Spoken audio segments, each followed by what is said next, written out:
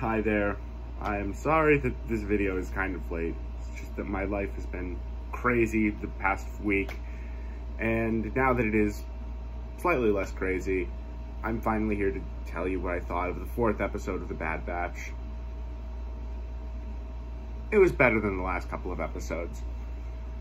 Like, not not quite as uh, good as the first, I feel, but still alright. Fennec Shand showed up, and uh, that was fun. Although, I don't like the, oh, the naive kid goes off with a stranger, and the adults that are, uh, that she's with have to go and rescue her. Like, I get it. She's lived a very sheltered life on Kamino. But it's just kind of stupid and I don't like it.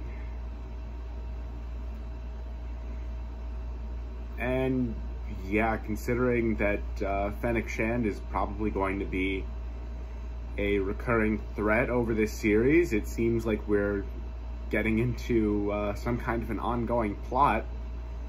So that's exciting. And uh, yeah. Yeah, that's that's about all I have to say and again, like I'm, I'm still just kind of waiting for more interesting things to happen. Hopefully they will soon. Well, uh, till next time.